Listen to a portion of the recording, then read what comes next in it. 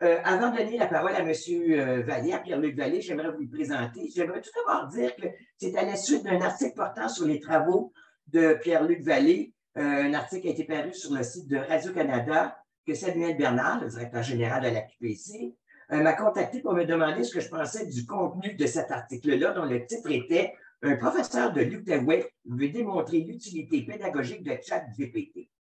Alors, tout de suite après, tout de suite, j'ai contacté Pierre-Luc qui a immédiatement et gentiment accepté d'animer un webinaire sur ce projet et c'est ce dont, il va être question aujourd'hui. Alors, Pierre-Luc Vallée, il enseigne les sciences politiques au Cégep de l'Outaouais depuis 14 ans.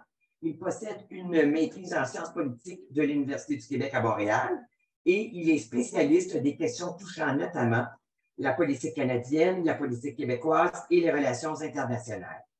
Il est aussi spécialiste des technologies de l'information et des communications dans le domaine de l'enseignement supérieur. À ce sujet, il est fondateur de Pédagogique, un site d'exercice interactif en ligne qui est utilisé par des enseignants du niveau collégial.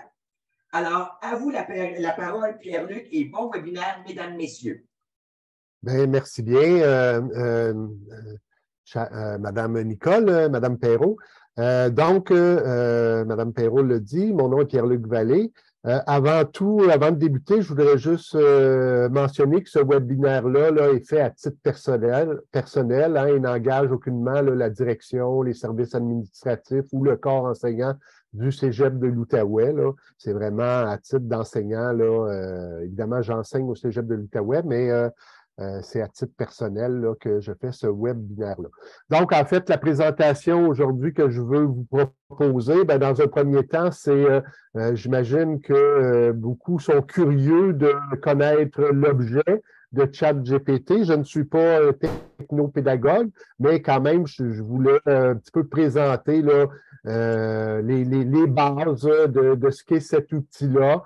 donc, première, donc, dans un premier temps, je ferai un bref aperçu de ChatGPT. Dans un deuxième temps, ben, je parlerai de façon plus précise euh, des lectures que j'ai faites précédant euh, l'expérimentation que j'ai faite qui m'ont amené à penser que ChatGPT a un certain potentiel au niveau pédagogique et finalement, ben, euh, je terminerai en vous décrivant un peu là, le déroulement de l'expérimentation qui a valu, euh, évidemment, au niveau médiatique, toute cette, cette attention-là. Euh, je pourrais, Madame Perrault a parlé d'un article de Radio-Canada, mais également, j'ai eu beaucoup de demandes d'entrevues, notamment sur le site de C Sciences également, les radios de l'Outaouais se sont euh, grandement intéressés là, à l'expérimentation. Euh, souvent, j'ai pu, j'ai déploré quelquefois là, des titres un peu sensationnalisme, hein, dans le genre un enseignant encourage l'utilisation de chat GPT. Ben, je m'empressais de mettre des bémols à leur euh, très grand enthousiasme. Hein. Euh, je sais qu'on veut que ça, on veut dans les médias, on veut que ça soit vendeur, mais euh, j'ai quand même pu là, réagir et mettre des bémols là, en disant qu'effectivement, dans, dans ce cadre-là d'expérimentation, mes étudiants étaient davantage des partenaires que des étudiants et apprenait à peu près en même temps que moi là, grâce à l'expérimentation. Mais je vous en reparlerai dans quelques minutes.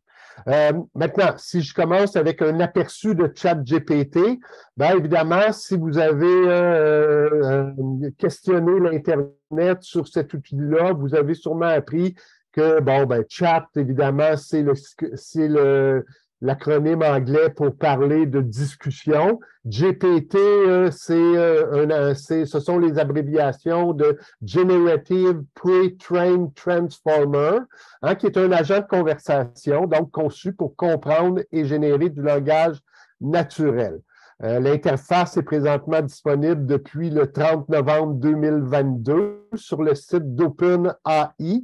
Hein, euh, une entreprise américaine créée notamment par euh, euh, le très célèbre Elon Musk qui a financé le projet, Sam Altman, et le projet débuté en 2015 à San Francisco, en Californie.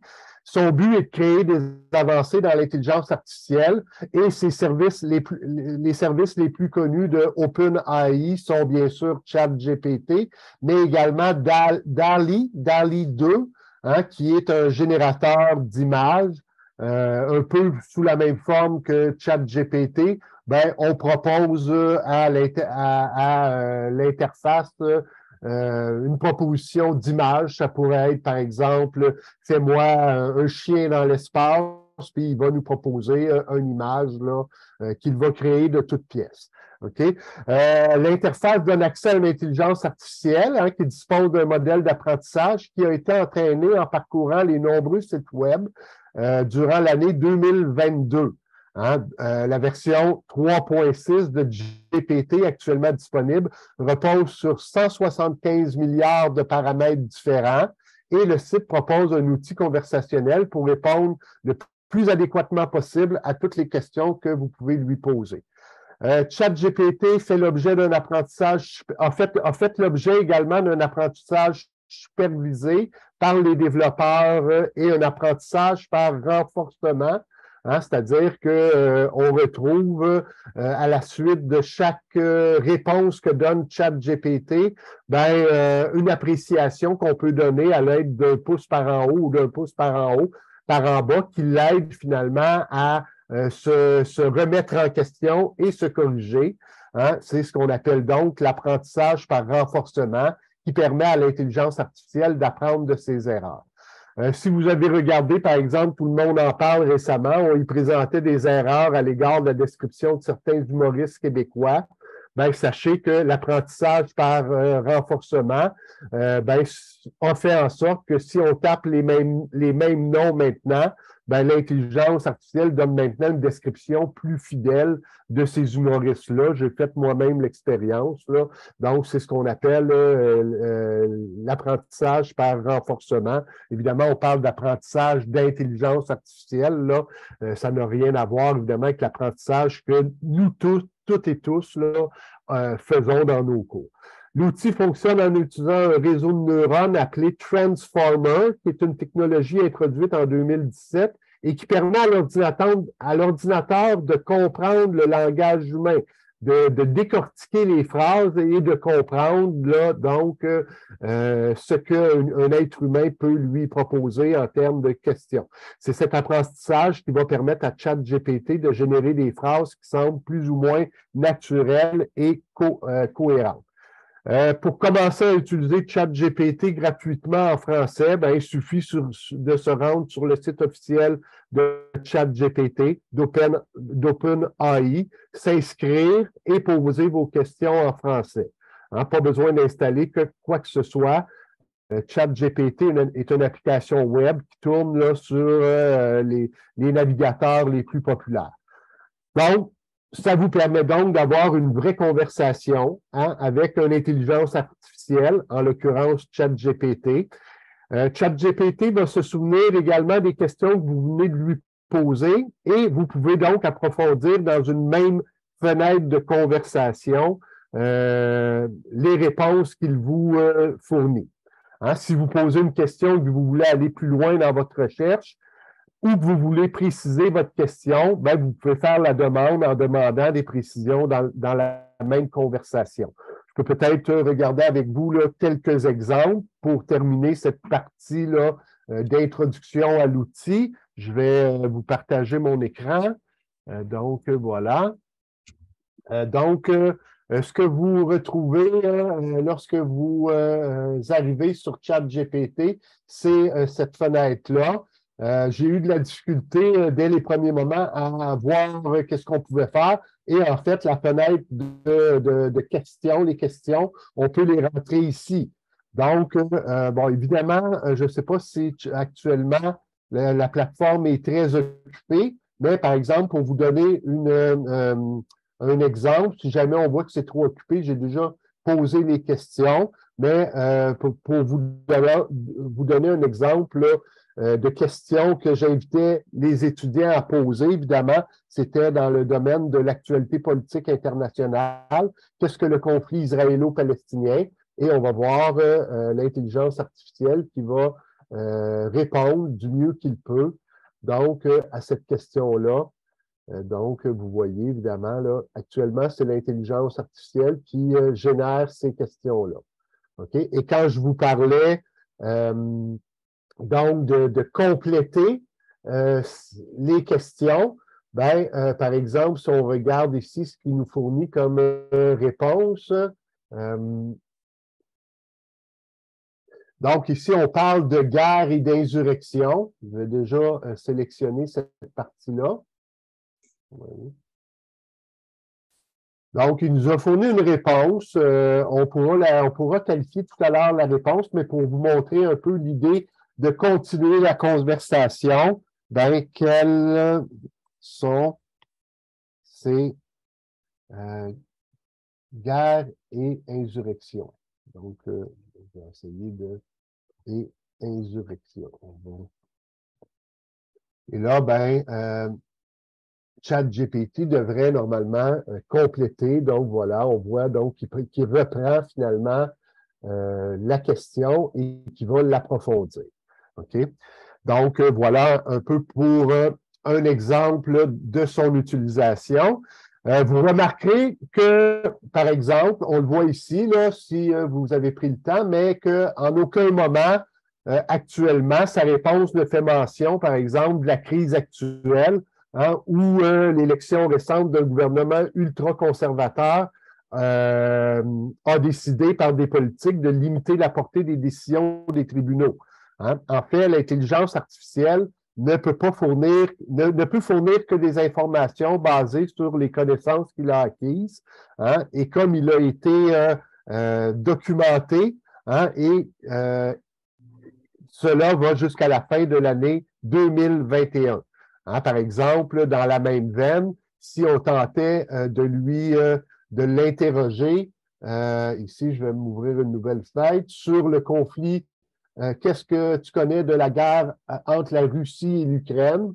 vous allez voir que ChatGPT n'est actuellement pas au courant qu'il y a une guerre ouverte entre l'Ukraine et la Russie. Hein, il va nous référer à des éléments qui sont passés en 2014. Donc, euh, euh, il faut évidemment être bien conscient de cette limitation-là euh, dans, le modèle qui est proposé actuellement à titre de plateforme de chat GPT. aussi, on sent bien que dans ces réponses, que ChatGPT nous donne des réponses que, ben, à titre de, prof de politique, je pourrais parler de réponses moyennes. Hein? Euh, on voit que les réponses restent politiquement correctes, mais sans aucune grande nuance qui pourrait susciter un grand intérêt. Donc, dans l'utilisation de ChatGPT à des fins pédagogiques, il est, donc essentiel d'approfondir les questions demandées en interrogeant l'intelligence artificielle, en reprenant des éléments de ses réponses comme on l'a fait précédemment. Aussi, il faut savoir que de façon générale, la qualité des réponses est directement proportionnelle à la pertinence et la précision des questions qu'on pose à ChatGPT et des instructions que vous fournirez dans la boîte de dialogue. Hein. Et finalement, ben, euh, il ne faudrait pas croire, et c'est mon avis bien, euh, euh, bien limité, mais il ne faudrait pas croire que quelqu'un pourrait, par exemple, taper l'énoncé d'une dissertation complexe ou bien un article scientifique sur un sujet donné et qu'une personne pourrait juste copier-coller et remettre un travail euh, de, ce, type-là. D'une part, si un tel exercice était fait, ben, son contenu va être identifié comme étant généré par une intelligence artificielle hein, et il est dès maintenant hein, facile de le détecter grâce aux nombreux détecteurs présents sur le web. Euh, peut-être un peu pour euh, terminer cette petite présentation sur euh, l'outil comme tel. Ben, un des plus fiables, ça s'appelle compilation. Hein. je vous le, encore là, je vous, voilà. Et pour vous montrer un exemple, je peux reprendre ici là, notre première question qui a été générée, là, ben, en fait, ici, la question qui a été générée ici, puis venir la mettre là, dans. bon, OK, bon. Donc, ici, venir la mettre dans ce détecteur, dans, ce détecteur d'intelligence artificielle et on voit effectivement que l'intelligence artificielle là, euh, détecte qu'à 99% bon, on pourrait dire qu'il se laisse une petite marge de manœuvre, mais euh, va donc détecter euh, qu'il s'agit du texte là, qui provient d'une intelligence artificielle. Par rapport, par exemple, ici, là, je vous affiche mon mémoire de maîtrise. Et si, par exemple, je prends, évidemment, qui a été fait là, en 1996, et ici, si je prends euh, une partie de mon mémoire de maîtrise et je m'en viens faire le même exercice. Euh, d'une part, on va effacer ça, voilà, et je m'en viens faire le même exercice. Ben, on va voir que euh, normalement, le compilateur, j'espère, voilà, nous dit que ça a été écrit par un être humain. Donc, donc en fait, on, ici, on passe à l'aspect potentiel pédagogique, ben, l'utilisation de chat GPT à des fins pédagogiques a le potentiel, hein, hein, je vais arrêter mon partage d'écran juste avant de continuer, pardon, donc, euh, a le potentiel, selon moi, d'être bénéfique. Donc, un peu en raison de ce que je viens de vous montrer à l'égard des détecteurs de chat GPT et également en raison du fait que ces détecteurs-là risque un peu comme l'intelligence artificielle d'évoluer au même, au même rythme, bien évidemment, j'exclus les nombreux débats là, à l'égard du plagiat. Hein, L'Internet, en, y incluant même l'ensemble des bibliothèques du monde, sont susceptibles d'être au service d'étudiants malveillants pour faire du plagiat. Euh, comme nous l'avons constaté dans notre aperçu de chat GPT, des outils technologiques existent et vont continuer d'exister pour le besoin des enseignants avec l'objectif hein, de détecter l'utilisation grossière de l'intelligence artificielle pour copier-coller des travaux. De ce point de vue-là, ben, je considère que ce sera à nos institutions hein, scolaires de se doter de politiques claires, précises pour baliser l'intelligence artificielle et les limites de son utilisation. Personnellement, j'entrevois le potentiel de chat GPT dans un cadre surtout formatif, hein, en l'associant à nos pratiques déjà existantes. Hein, dans l'éducation collégiale et notamment dans une discipline comme les sciences politiques, ben, l'intelligence artificielle peut être utile afin de permettre l'apprentissage hein, ou le rappel de faits précis, de faits factuels précis euh, que ce soit de nature historique, par exemple, avec l'objectif final, finalement, euh, dans un cadre de cours, d'un cours de sciences politiques, de procéder à l'analyse, par exemple, des enjeux politiques actuels. Vous le verrez tout à l'heure, c'est précisément ce que j'ai fait dans le cadre de mon expérimentation. Hein, toujours dans une discipline comme les sciences politiques ou les sciences humaines, ben, les étudiants peuvent poser des questions précises sur des concepts Hein? Euh, en politique, par exemple, si je vais plus dans un cadre d'introduction à la politique, ben, des questions sur euh, qu'est-ce que la révolution tranquille ou encore qu'est-ce que la grande noirceur, hein? le tout permettant aux étudiants et étudiantes d'acquérir ou de rafraîchir leurs connaissances et d'avoir une base commune hein, de connaissances avant d'entrer dans l'analyse de la politique contemporaine québécoise et canadienne. Euh, bien sûr hein, que la lecture d'ouvrages sur le sujet n'est pas à négliger non plus. Hein. la part de chat GPT se doit d'être complémentaire. Euh, dans cette complémentarité-là, peut y avoir, à mon avis, une grande motivation pour les étudiants à poser des questions, voire même à discuter hein, avec l'intelligence artificielle sur un sujet donné, qui est également à même d'apporter une nouveauté au niveau pédagogique. Hein? Habituellement, si je me remémore mes années d'enseignement, mes années où j'étais moi-même étudiant, ben, en posant des questions à un enseignant sur un sujet précis, on avait davantage, euh, on avait davantage tendance à se rappeler de la réponse qu'on recevait hein, du dit enseignant. Est-ce que euh, ce même élément motivateur peut jouer dans le fait d'interroger une intelligence artificielle ou de discuter d'un sujet avec elle, ben, la question se pose. Hein?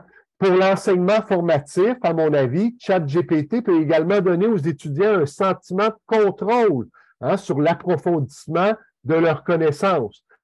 Comme, comme on l'a fait au début du webinaire, hein, l'idée de préciser ces questions avec des parties de réponses que ChatGPT nous fournit au regard, par exemple, de concepts qui seraient moins euh, bien compris par les étudiants hein, et qui seraient inclus dans, les réponses de ChatGPT, ben, euh, peut emmener les étudiants à développer leur esprit de curiosité, ben, en fait, à développer leur curiosité, hein, et, euh, et ChatGPT, en ce sens, favorise un peu la curiosité intellectuelle. Hein, pour un étudiant curieux, avide d'approfondir des aspects particuliers d'une problématique, l'outil ChatGPT est tout à fait indiqué, je crois, comme partenaire de débat hein, convaincant sur un nombre illimité de sujets aussi. Encore là, évidemment, je n'aurai de cesse de le souligner, hein, de voir ChatGPT comme un ajout à la recherche bibliographique, à la lecture d'ouvrages pour confirmer les découvertes faites à l'aide de l'intelligence artificielle. Euh, dans la même optique, bien évidemment, ChatGPT peut être utilisé par les étudiants par exemple, pour créer des expériences d'apprentissage personnalisées, hein, en fournissant aux étudiants un contenu et des instructions sur mesure en fonction de leur, euh, de leur niveau euh, de scolarité, de leur performance, de leurs préférences. Hein, je parlais tout à l'heure avec euh, Mme Perrault hein, qui me disait avoir interrogé euh, chat GPT Hein, euh, et qu'elle trouvait les, réponses relativement enfantines jusqu'à ce que, évidemment, elle indique ben, pour une personne de niveau collégial, pour un universitaire. Et là, évidemment, ChatGPT raffine quelque peu ses questionnements. Mais si on n'a pas recours à euh, l'idée d'approfondir, de partir de point de départ de ce que ChatGPT nous génère comme contenu, euh, évidemment, on reste dans le superficiel. Euh, en ce sens, également, euh, ChatGPT peut faciliter la lecture de textes complexes pour des étudiants en situation de handicap. Voilà un autre potentiel d'utilisation. Encore là, je peux peut-être vous faire un petit exemple. J'ai tiré de ce livre-là, en fait, ce qui était un de mes, un de mes enseignants là, universitaires, champ Orient-Occident, qui avait la plume euh, relativement complexe. Hein. Euh, et euh, j'ai tiré un extrait. vous pourrez le lire quand je le mettrai dans, dans le chat GPT. Je vais revenir ici, je vais repartager mon écran. Donc, voilà. Partage d'écran, pardon. Je suis un petit peu rouillé. Évidemment, on a fait longtemps, j'imagine que vous et moi, on a fait longtemps euh, du, euh, de l'enseignement à distance. J'ai dû retrouver euh, certains de mes repères. Ça m'a rappelé pas nécessairement des, très bons souvenirs, mais quoi qu'il en soit, voilà, le partage d'écran. Et par exemple, je pourrais lui demander de, je l'ai déjà fait ici, je je la régénérerai, voilà, ici, adapte ce texte pour un étudiant dyslexique euh, et voilà, je vais le régénérer et il va nous donner euh, une adaptation pour, euh, par exemple, un étudiant qui aurait des problèmes de dyslexie. donc, on voit ici là, que ChatGPT donc, régénère une réponse qui serait peut-être davantage à même d'être compris. Donc, donc, on peut donc parler d'un certain potentiel, par exemple, pour des étudiants en situation de handicap, notamment.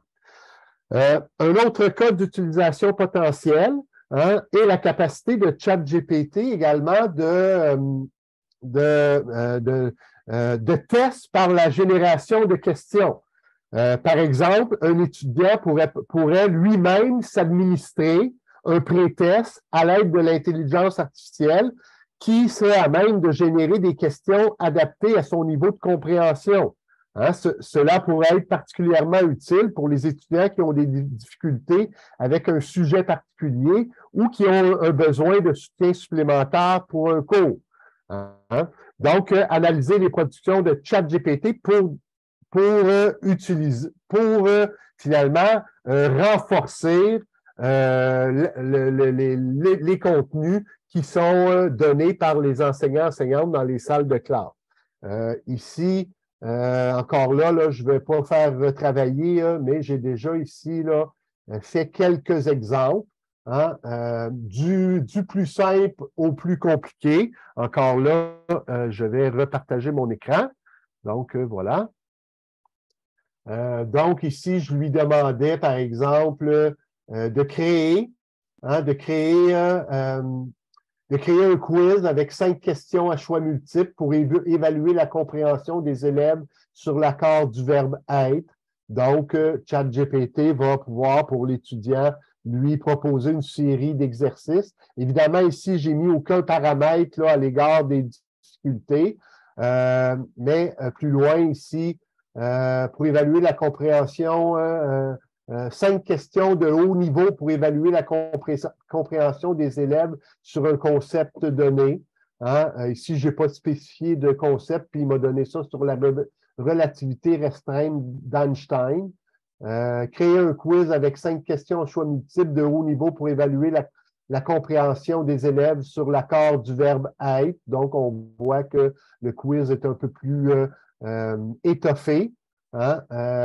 Et euh, j'ai même demandé à ChatGPT de créer euh, ici, vers la fin, euh, donc, une aventure interactive, donc, qui pourrait, par exemple, permettre aux étudiants de s'initier, par exemple, à, des, des, relations internationales. OK? Donc, évidemment, moi, j'entrevoyais ça plus de la partie étudiante. Là. Hein, je crois que les enseignants enseignantes ont tout intérêt à continuer à créer leur propre évaluation pédagogique, là, euh, leur évaluation, euh, que ce soit certificative ou leur évaluation formative et sommative. Mais pour l'étudiant, il y a un certain potentiel de pouvoir s'auto-évaluer euh, en précisant donc euh, en, demandant à l'intelligence artificielle de générer des exercices supplémentaires. OK? Euh, donc, un autre, un autre domaine où j'entrevois le, le, potentiel de ChatGPT, bien évidemment, c'est dans l'analyse, c'est dans le fait d'analyser les productions de ChatGPT pour développer son esprit critique. Hein, il, peut, être intéressant de faire l'exercice de demander à l'intelligence artificielle de produire un texte sur un sujet précis, puis de demander aux étudiants et étudiantes de réaliser une analyse critique du résultat. Hein, demander aux étudiants, par exemple, de vérifier la production sur la base de leurs connaissances acquises en classe ou en trouvant des sources fiables qui soutiendraient le texte généré par l'intelligence artificielle. Euh, dans ce dernier cas, ben, il faudrait évidemment les sensibiliser également avant au biais de confirmation, hein, qui consiste bien évidemment à favoriser inconsciemment les informations qui confortent nos, idées préconçues ou nos hypothèses pour un résultat plus pertinent. Il est préférable de choisir évidemment des questions spécifiques ou euh, pointues hein, pour que l'intelligence artificielle soit plus performante, là, parce que, comme je vous disais, si on laisse euh, des questions ouvertes hein, sans préciser un peu là, euh, à quel niveau on veut obtenir ces réponses-là, ben, l'intelligence artificielle, c'est peut-être comme un être humain, hein, reste très paresseuse et nous fournit des, des, des réponses là, un peu justement infantilisantes ou de très bas niveau. Euh, donc voilà un peu, euh, évidemment, comme je vous disais au début, je n'ai pas, la, pas la prétention d'être un technopédagogue, mais en lisant euh, pour préparer mon expérimentation, c'était surtout ces éléments-là qui me faisaient croire que l'intelligence artificielle et plus précisément ChatGPT pouvait, pouvait finalement être utile au niveau pédagogique je vous, ai donné évidemment quelques, quelques aspects, mais je, suis je suis convaincu que vous avez déjà commencé à lire sur ChatGPT et vous avez pu trouver de, nombreux, de nombreux chercheurs, de nombreux pédagogues hein, qui, d'une part, euh, euh, euh, sont conscients que l'outil est là pour, pour demeurer. Hein. Donc, évidemment, au niveau professoral, ben, il y a deux choix. Hein. Soit de faire comme certaines universités ont fait, bannir l'utilisation dans l'enceinte de, de, de l'institution scolaire, sachant pertinemment que les étudiants et étudiantes y ont accès de la maison, ou encore ben, encadrer et euh, apprendre aux étudiants et étudiantes de se servir de l'intelligence artificielle pour accroître leur, euh, connaissance, euh, plus spécifiquement dans, des, dans, des, dans, dans de l'évaluation formative. Hein, évidemment. Et il euh, faut également prendre en considération également que euh, tôt ou tard, je crois que ChatGPT euh, changera nos méthodes d'évaluation, évidemment, sommatives. Au niveau maintenant de mon expérimentation que j'ai fait, que j'ai tenue vraiment en début de session, au début du mois de février, Hein? Ben, dans un premier temps, peut-être contextualiser cette expérimentation-là. Euh, j'ai fait cette, expérimentation-là avec mes étudiants euh, du cours d'actualité politique internationale, qui est un cours de quatrième session euh, au niveau collégial, un cours de politique, où, dans un premier temps, ben, pour ma part, j'étais en formation, donc je savais que je ne pouvais être présent à ce cours-là. Donc, plutôt que d'annuler mon cours, euh, j'ai plutôt procédé à euh, une expérimentation que les étudiants avaient à faire par eux-mêmes, hein, à laquelle j'avais préparé au cours précédent. Euh, l'idée, ben, en fait, l'idée, c'était de remplacer un cours qu'habituellement je donne en tout, en tout début de session, hein, qui vise un peu à faire la recension des connaissances qu'ont les étudiants et étudiantes qui sont quand même en quatrième session de niveau collégial, à l'égard des relations internationales. donc, sur des sujets, parce qu'évidemment, le cours s'appelle Actualité politique internationale. D'une part, ben, euh, au Cégep de l'Outaouais, on, a changé le, titre de ce cours-là dans, euh, dans l'optique de l'actualisation du programme des sciences humaines, parce que, évidemment, avant de pouvoir procéder à l'analyse de l'actualité internationale, euh, les étudiants et étudiantes qui arrivent au collégial, qui ont peu de, de formation au niveau politique, ben, on doit leur, leur enseigner finalement certains concepts clés liés à l'actualité internationale, hein, liés aux relations internationales. Je pense notamment à l'idée de bipolarisation du monde. Hein. Euh, donc, évidemment, avoir quelques connaissances, par exemple, sur la guerre froide, euh, le processus de colonisation, décolonisation. Euh, l'autre thème, c'était l'Organisation des Nations Unies et finalement le conflit israélo-palestinien comme euh, finalement pierre d'achoppement entre euh, de, une bonne entente entre, par exemple, le monde arabe et euh, le monde occidental. Donc, l'idée, c'était donc plutôt que de leur demander l'état de leur connaissance sur ces quatre dossiers-là, ben, je les ai, je les ai réunis en équipe de. En, fait, les étudiants devaient former quatre équipes hein, et chaque équipe traitait d'une de ces questions-là à l'aide de l'intelligence artificielle. Euh, dès le début, évidemment, j'ai parlé aux étudiants et je leur ai dit que dans le cadre de cette expérimentation-là, ils étaient davantage des, des partenaires avec moi dans cette expérimentation-là plutôt que des étudiants et étudiantes. Et évidemment, leur tâche, c'était de euh, de, créer un exposé oral pour présenter à la classe la semaine suivante, puisque je n'étais pas présent lors de leur expérimentation. Euh, c'était un enseignant suppléant qui avait la tâche finalement à la fin du cours de, commenter hein, une première ébauche de, des exposés oraux que les étudiants et étudiantes présentaient pour évidemment produire le produit final la semaine suivante. Et je dois dire, effectivement, à ce niveau-là, que j'ai été agréablement surpris hein, par, d'une part, comparant aux sessions antérieures où je me bornais à recueillir un peu l'état de leur connaissance là, suite à trois sessions euh, euh, euh, faites au collégial à l'égard des relations internationales. Euh, bon, évidemment, dans chaque groupe cours que j'ai eu précédemment, il y avait, il y avait toujours des étudiants et étudiantes plus euh, qui s'informaient davantage que d'autres. Donc, il y avait quand même des connaissances euh, intéressantes, mais fortement limitées.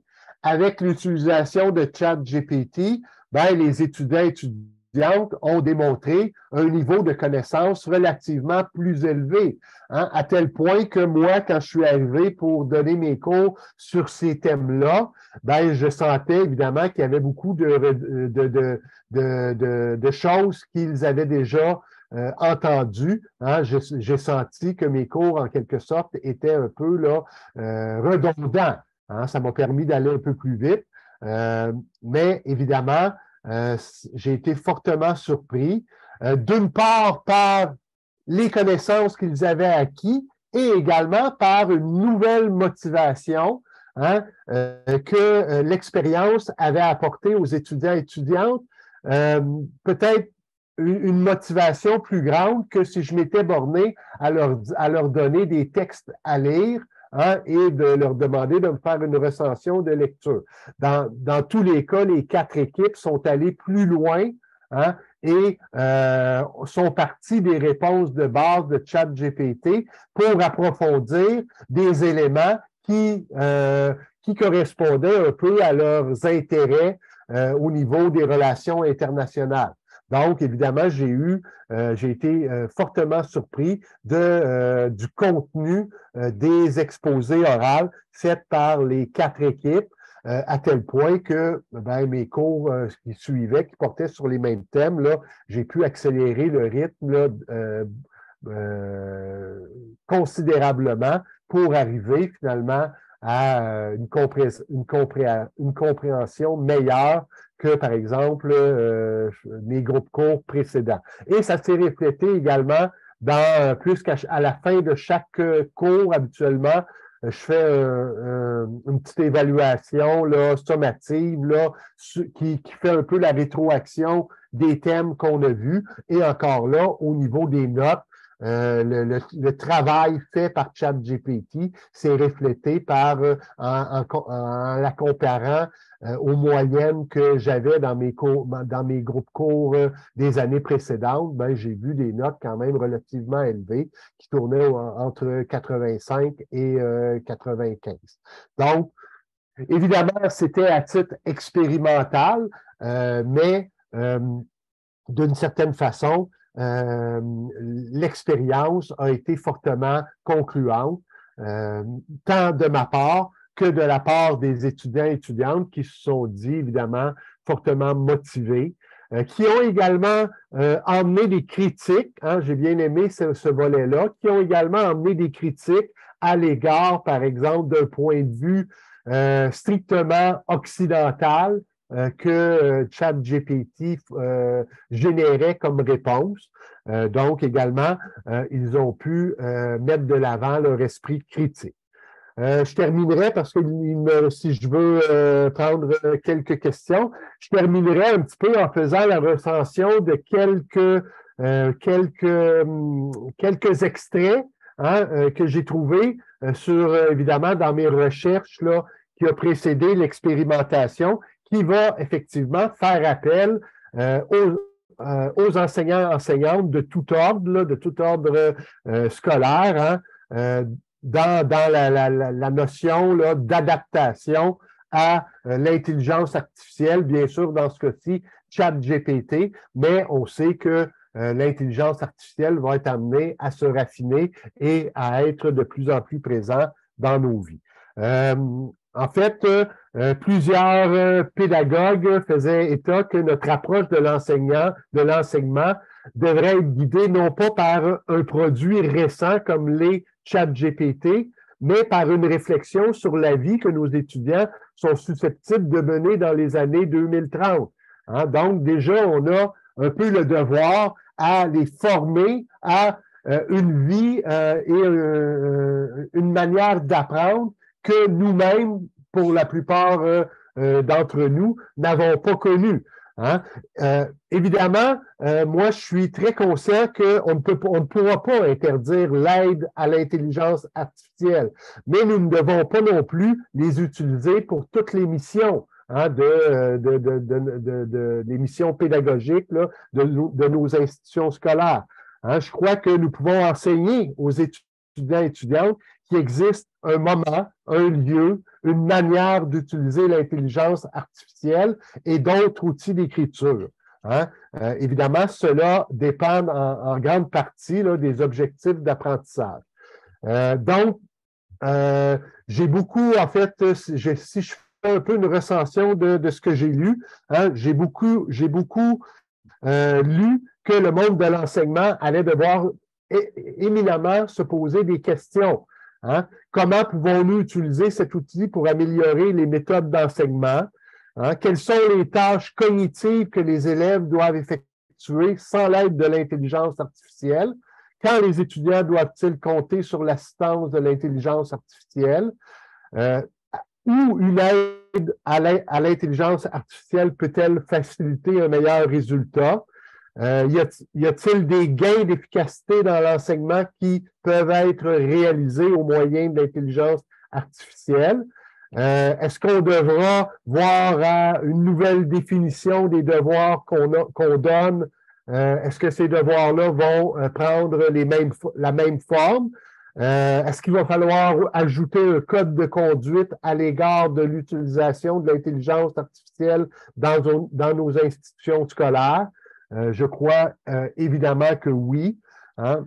évidemment, je crois que pour le collégial, les départements doivent, vont devoir s'entendre sur les attentes hein, dans tous les cours et communiquer ces attentes-là de façon claire.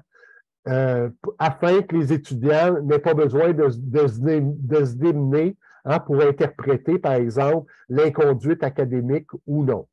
Euh, donc, maîtriser l'intelligence artificielle, en, conclusion, je crois que c'est modéliser la génération et la critique des résultats, puis euh, demander, hein, euh, questionner les élèves pour qu'ils essaient par eux-mêmes hein, d'évaluer les, les, questions qu'ils posent et les réponses qu'ils obtiennent de ChatGPT. enfin, euh, on doit évaluer dans quelle mesure les étudiants peuvent identifier les échecs de ChatGPT en termes de logique, en termes de, cohérence, de précision et de biais. Euh, et ça pourra même faire, euh, l'objet de nouvelles évaluations. Hein. Peuvent-ils détecter les fabrications, les fausses déclarations, les erreurs, la perpétuation de, stéréotypes, nuisibles. Hein. Euh, évidemment, si les étudiants ne sont pas prêts à critiquer hein, euh, le, contenu généré par ChatGPT, ben, je crois qu'on ne devrait pas euh, choisir ce, mode d'apprentissage-là. D'où, évidemment l'importance de bien les encadrer et de, de de fournir une, éducation à cette euh, intelligence artificielle-là. Euh, donc, euh, et finalement, l'apprentissage humain hein, est progressif, hein, même lorsque l'apprentissage de l'intelligence artificielle semble instantané, instantané hein, bien évidemment, ça ne changera pas ce dont les, enseignants, ça ne changera pas en fait le rôle et les responsabilités euh, du corps professionnel.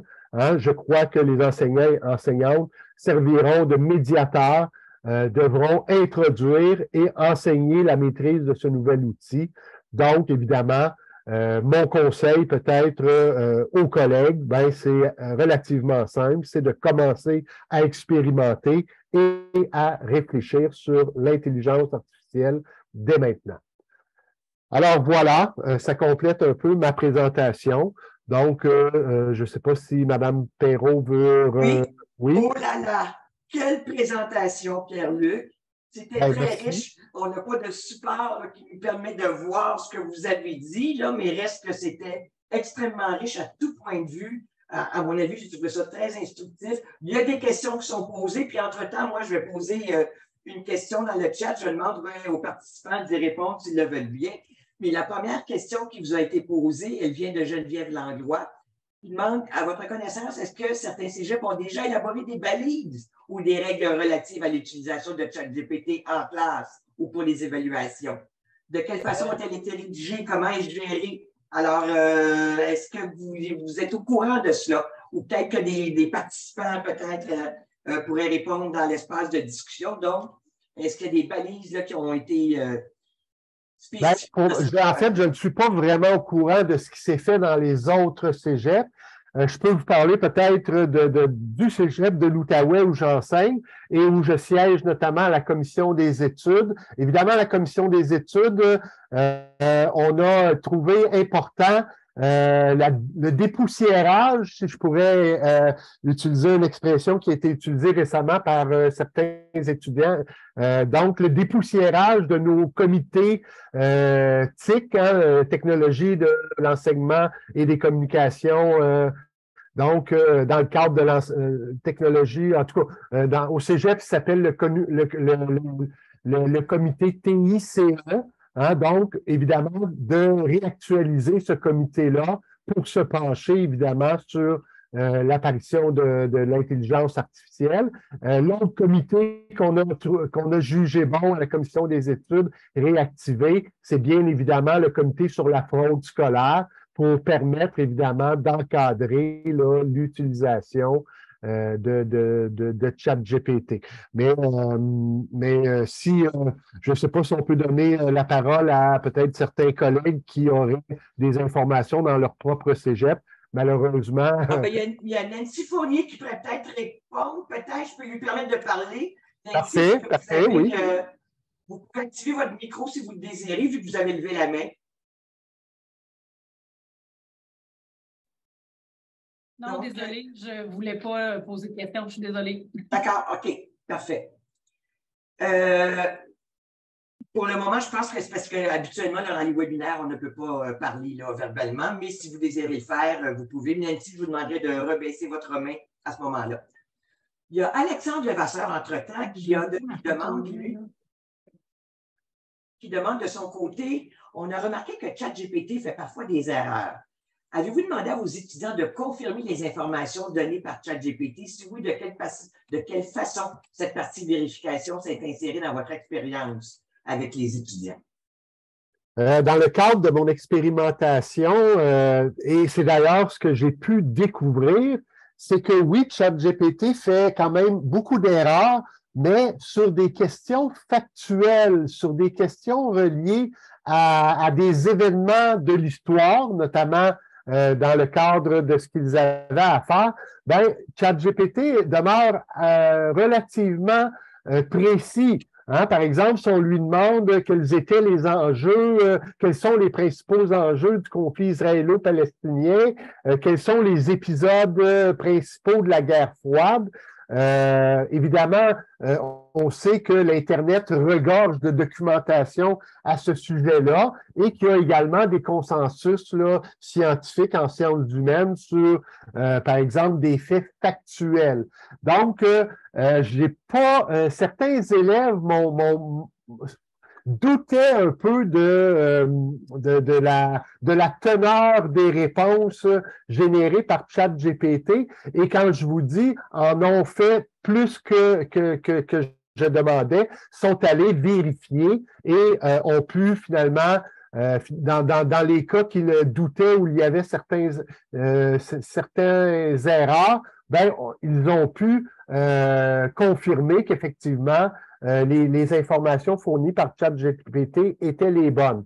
Euh, ceci dit, ben, euh, c'est évident que certaines erreurs sont produites par ChatGPT, hein, notamment lorsque plus on va dans des questions précises, euh, dans le cadre, évidemment, de mon expérimentation qui se déroulait dans, sur une période de trois heures, donc où euh, on avait peu de temps là, pour euh, faire de la recherche bibliographique, j'ai quand même demandé aux étudiants de demander à l'intelligence artificielle de, produire des sources.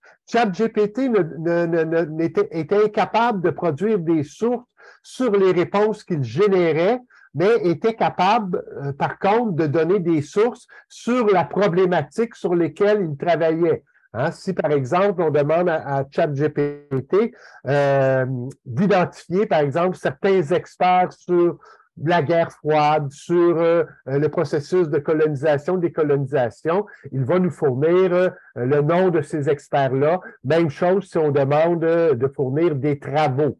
Mais effectivement, euh, si j'avais été plus loin dans l'expérimentation, ben, j'ai quand même précisé à mes étudiants que euh, il, y avait, il, demeurait important d'aller confirmer euh, les textes et les informations générées par ChatGPT. C'est un peu comme je vous disais dans ma présentation, l'idée d'utiliser ChatGPT, ben, en fait, euh, la question euh, ne se pose pas vraiment. C'est un peu comme Wikipédia. Hein. L'intelligence artificielle est là, elle sera de plus en plus présente. Euh, éduquons nos enseignants, nos, étudiants et étudiantes à une, utilisation adéquate qui comprendrait bien évidemment l'idée de, confirmer grâce à des ouvrages précis sur des questions euh, qu'on demande à ChatGPT. Pour moi, ça va de soi qu'effectivement, euh, on ne peut pas prendre ces réponses euh, sans, sans faire d'autres vérifications. Il y a beaucoup de questions encore. Peut-être qu'on va prolonger, mais les gens ne, ne, nous chicanez pas. Si on prolonge de cinq minutes, vous pourrez retourner voir de toute façon le webinaire qui est enregistré. Bon, il y a Hélène Lortie qui demande, mais bon, euh, je pense que la réponse est rapide. Là. Le chat GPT a dit, je le vois en anglais, est-ce qu'il y a moyen de convertir en français? je vous laisse répondre, Pierre-Luc. Euh, ben, la page, l'interface est, effectivement en anglais, mais si on pose des questions en français, on aura des questions en français. Pour le reste, je crois que c'est une question de marketing. J'imagine que si, si on fait des demandes à l'entreprise, ça ne serait pas très compliqué de, traduire euh, cet élément-là, puisque les, réponses qui apparaissent euh, sont faites dans le langage où, on, demande la question.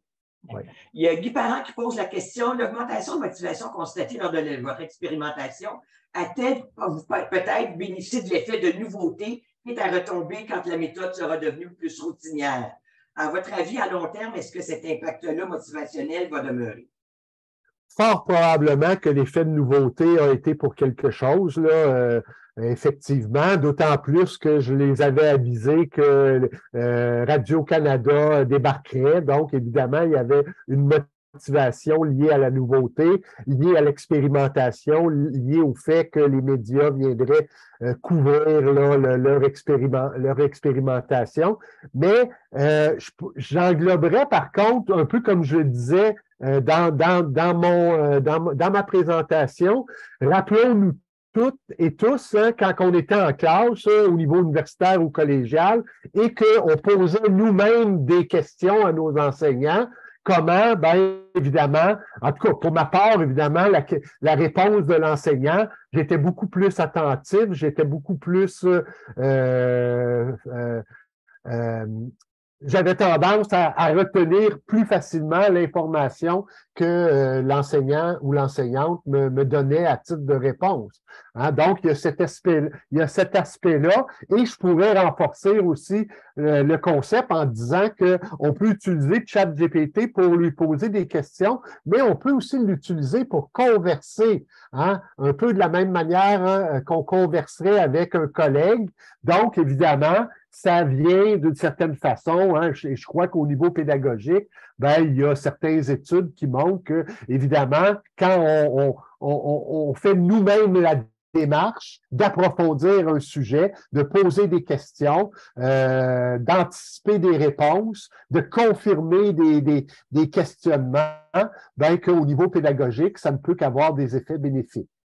Ce que vous dites là, Pierre-Luc, ça, ça, rejoint un peu ce qu'Annie Lapierre disait dans le clavardage. Elle dit J'utilise ChatGPT à tous les jours, je confronte mes idées, ce qui m'amène à aller plus loin dans mes réflexions. oui. c'est un peu ce que vous disiez d'une certaine façon. Oui, tout à fait. Nous aussi, les enseignants, on peut parfois, euh, je pense notamment au niveau des préjugés, euh, du moins, je ne peux pas parler pour toutes les disciplines, mais en politique, certains étudiants ont, challengé un peu là, le, et lui ont posé la question qui avait raison dans la guerre froide.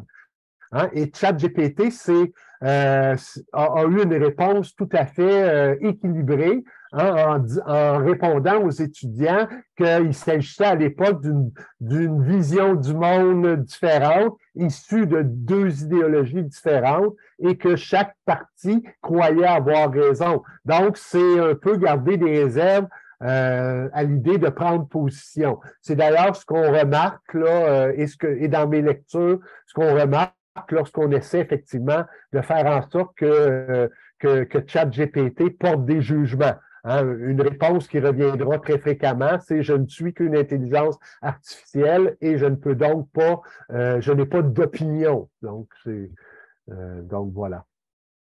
D'accord. Il y a d'autres questions encore, j'y reviens. Alors, il y a Guy Parent aussi qui pose la question en ce qui concerne l'utilisation de compilation.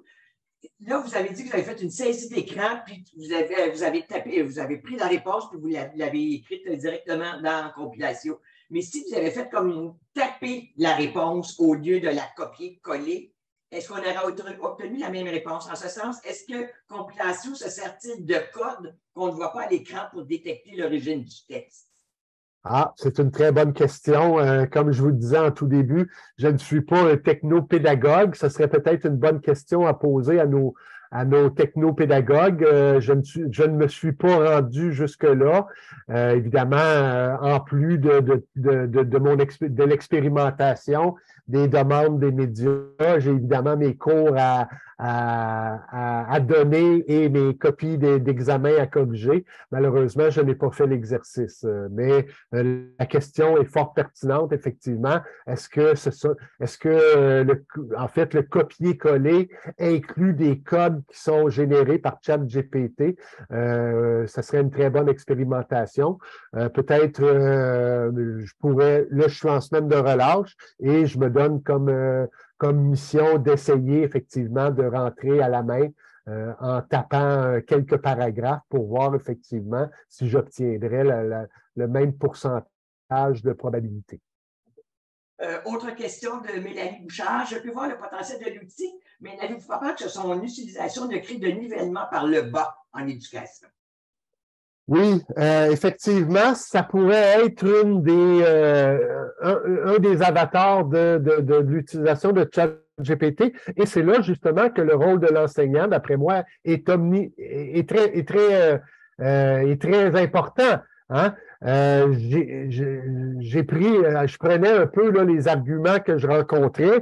Hein? Euh, certains, certains pédagogues, là, surtout au niveau anglophone que j'ai consulté, je pourrais vous, je pourrais ajouter peut-être quelques sources là par rapport à mes lectures, mais disait si si un étudiant universitaire vous présente un travail qu'on peut où l'information on peut la retrouver euh, en tapant quelques, quelques, quelques questions à ChatGPT, ben, l'utilité de son travail, là, euh, à quoi sert son travail? Hein? Je crois que euh, on rentre dans un nouvel ère et d'une certaine façon, hein, au même titre que les étudiants universitaires d'aujourd'hui sont à mille lieues en termes de connaissances que les étudiants au début du siècle, ben, je crois que l'intelligence artificielle va rendre banal peut-être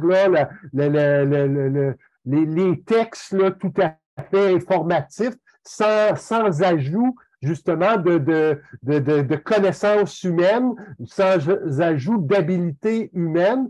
Et en ce sens, je crois que euh, ça va encore une fois élever les connaissances générales euh, et donc euh, avec l'élévation de ces connaissances générales-là, ben, d'une certaine façon, on pourra aller plus haut. Hein. Si je compare ça un peu à l'état des connaissances qu'on avait au 19e siècle par rapport à l'état des connaissances qu'on a euh, au 21e siècle, et je vois ça comme un palier euh, qui fait en sorte que, euh, justement, hein, euh, si, si, si, par exemple, un étudiant vous présente un travail et qu'on ne retrouve que des informations trouvées sur Wikipédia, ben, très, fort, très probablement, vous jugerez ce travail comme tout à fait incomplet. Hein? manque de réflexion, manque de, de, de, de sens critique. Et donc, ben, je vois un peu l'avènement de ChatGPT et de l'intelligence artificielle euh, de manière plus générale comme un nouveau palier dans les connaissances humaines qui vont faire en sorte que euh, l'enseignement, l'éducation va emmener ben, nos étudiants encore plus haut. Hein. Donc, euh, voilà.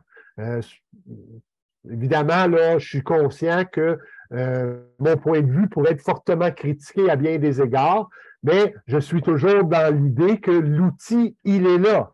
On peut bien essayer de l'interdire, mais c'est comme euh, c'est comme euh, quand que, dans les premiers moments de, de l'apparition des téléphones intelligents, où on demandait à nos étudiants de laisser le téléphone intelligent à l'extérieur.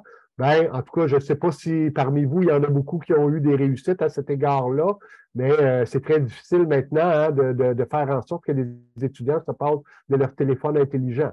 Je crois que c'est un nouveau stade au niveau de l'intelligence humaine. Hein. Avant, on avait besoin d'acquérir euh, de multiples connaissances. Maintenant, ben, euh, on a des outils qui nous permettent d'obtenir des connaissances. Hein, comme un philosophe disait euh, récemment dans, dans une entrevue scientifique à Radio-Canada. Maintenant, on connaît, avant, on, connaissait beaucoup de choses sur un sujet précis. Maintenant, on connaît peu de choses, mais sur une multitude de sujets. Et à mon avis, c'est ce peu de choses-là que les enseignants et, les enseignantes auront à bonifier d'un aspect critique, d'un aspect également euh, qui fera appel à la métacognition. Hein, peut-être que ChatGPT sera un instrument d'apprentissage pour certains élèves hein, qui, qui, aiment moins le côté euh, statique, par exemple, d'une lecture d'un texte et qui voudront parfaire leurs connaissances euh, en posant des questions. Euh, mais évidemment, je rappelle toujours que l'idée, c'est que ChatGPT soit utilisé de façon complémentaire, hein, non pas qui remplace là, euh, nos anciens, euh, notre bibliographie euh, ou nos anciennes, ou nos anciens, nos anciennes méthodes pédagogiques. D'accord. Il y a beaucoup encore de, il y a beaucoup de questions encore, mais il y en a une, peut-être une à laquelle je pourrais répondre tout de suite aussi si vous êtes à l'aise. il y a un membre qui demande est-ce qu'on peut utiliser ChatGPT pour aider le prof dans la correction des examens? Eh bien, on peut demander à ChatGPT, vous vous me direz si j'ai raison, d'établir un ensemble de critères à propos de, critères en fonction des réponses attendues de la part des étudiants. Je pense qu'on peut demander ça à ChatGPT. Hein.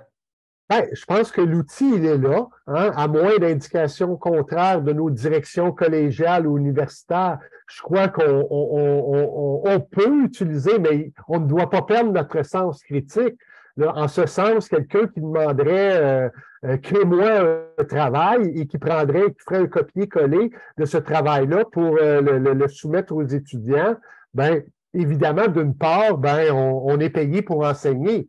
Hein, euh, on n'est pas payé pour, euh, euh, pour, pour, pour, pour, faire du copier-coller. on est soumis un peu aux mêmes règles à l'égard du plagiat que nos étudiants. On a également notre, notre, notre conscience professionnelle hein, qui, qui fait en sorte que, titre d'enseignant, ben, je dois finalement porter un jugement sur les évaluations que je fais. Je crois que, évidemment, là, tout l'approche pédagogique, je parle pour les cégeps, hein, euh, est tenu de continuer à exister, hein, c'est-à-dire travail en collégialité, euh, travail en, collégialité avec les collègues euh, dans des objectifs d'évaluation. Donc, évidemment, euh, même au niveau je suis également euh, à l'exécutif de mon syndicat d'enseignants, je crois que ce serait assez difficile à défendre un enseignant qui dirait ben moi, je fais toutes mes évaluations.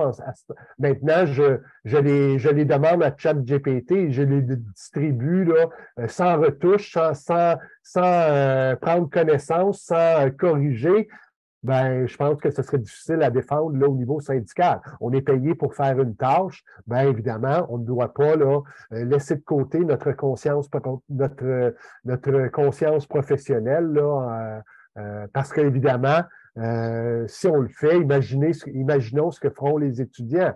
Hein. je pense que notre devoir, c'est de les accompagner à l'utilisation de ChatGPT pour finalement pour nous donner des outils pédagogiques. Hein, pas pour nous alléger le travail et nous dire, ben, part, on peut être les pieds sur le pouf, euh, je peux faire mon examen la veille en, demandant tout simplement à ChatGPT. D'une part, ben, ce serait euh, habituellement nos examens reflètent là, euh, les cours qu'on donne, donc ça, me, semblerait relativement surprenant que ChatGPT puisse, puisse finalement prendre en considération le contenu de vos 45 ou 60 heures de cours pour former un, une évaluation là, qui serait digne de ce nom là, dans un, en, enseignement supérieur. Merci beaucoup. Il y a d'autres questions, mais là, je pense qu'on va être obligé de, terminer. Il est 14h10 et je vois que les gens quittent. Mais il y a Lynn Morin, effectivement, qui pose la question, puis effectivement, euh, Parent aussi, qui, euh, dans le chat, le dit. Alors, il y a vraiment euh, besoin de développer la formation en littératie numérique, je pense, chez nos étudiants. C'est ce que ChatGPT interpelle, entre autres oui, tout à fait. Oui, d'accord avec ça? Oui, tout à fait. Euh, il y a David Boulet qui dit est-ce que ChatGPT peut fournir des sources, des références fiables sur des données fournies? On n'est pas toujours. Il y a des, Pourriez-vous brièvement répondre à cette question-là? Ben, en fait, je l'ai fait un peu dans ma présentation. ChatGPT ne peut pas nous donner les sources des réponses qui nous génèrent directement. Mais si vous demandez à ChatGPT de, de, de, de, nous donner, de fournir des sources sur un problème donné, je l'ai fait, par exemple, sur le conflit euh, israélo-palestinien, ben, ChatGPT va nous donner, par exemple, des ouvrages spécialisés, des revues spécialisées euh, sur les, la politique internationale. Il peut également nous donner le nom des, des experts hein, euh, d'universitaires qui traitent de ces domaines-là. Mais, euh, euh, mais évidemment, l'outil est, euh, est à son stade embryonnaire et plusieurs entrevoient la possibilité que ChatGPT ou l'intelligence artificielle puisse finalement citer ses sources. Oui. Parfait. dernière petite question, mais je voudrais que vous ayez répondu en 30 secondes. Oui. Vos excellents travaux ont-ils été vérifiés par un détecteur depuis que faites-vous avec un travail qui aurait été fait à 40% par ChatGPT? De, de là, tout le travail que nous aurons à faire à titre d'enseignant, euh, tout, le travail, tout le travail que nos directions euh, des études auront également à faire pour encadrer la pratique, pour effectivement, pour, euh, pour définir des seuils de tolérance. Hein, euh, si c'est 40% est-ce que c'est euh, c'est considéré comme du plagiat? Donc, effectivement, et dans ce domaine-là, ben, tout reste à faire. Je rappelle que l'outil a été rendu disponible le 30 novembre dernier. Donc, on est vraiment là euh, à, dans une, nouvelle, avec une nouvelle technologie. Et évidemment, si, même si ChatGPT s'implantait pas comme comme, euh, comme euh, plateforme là, euh, par un très grand nombre de personnes, ben, il, faut, il faut se pencher sur ces questions-là. Il faut effectivement établir des balises pour éviter de se retrouver à ce que les enseignants aient seuls à trancher dans ces domaines-là. On a effectivement besoin de pédagogues, de, de, nos directions des études pour nous accompagner et euh, définir ce qui sera acceptable ou non. Il y a Annie Bergeron qui pose la question suivante, puis moi, je vais l'envoyer dans le, dans, le, dans, le, dans le document de clavardage. Elle dit qu'il faudrait peut-être se, regrouper entre institutions d'enseignement supérieur pour euh, une utilisation responsable de l'outil en éducation, euh, différents exemples en enseignement et d'évaluation. Il y a d'ailleurs des webinaires ou des rencontres qui ont été annoncées dans l'espace de clavardage vous pourrez aller lire le, clavardage, chers collègues, et voir ce, qui, ce qui se prépare un peu partout dans le réseau collégial. Mais c'est certain que, que, tout ça ne restera pas lettre morte. C'est certain. Un gros merci, un gros merci, Pierre-Luc. On aurait pu continuer pendant beaucoup de minutes. On se dit à la prochaine. Ce n'est que partie remise à ce moment-là. Parfait. Merci. Merci Au revoir tout le monde. Merci de votre intérêt.